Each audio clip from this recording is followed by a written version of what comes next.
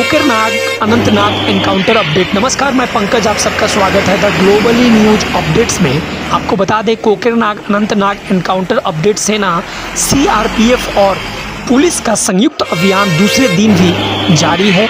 कार्रवाई में सेना के दो जवान शहीद हो गए, एक नागरिक की भी मौत हुई है। तो जुड़े रहे हमारे साथ ऐसे ही अपडेट्स लेकर के हम पुनः मिलेंगे आपके साथ। आप सबका दिन शुभ हो। भारत माता की जय। हिंदुस्तान जिंदाबाद।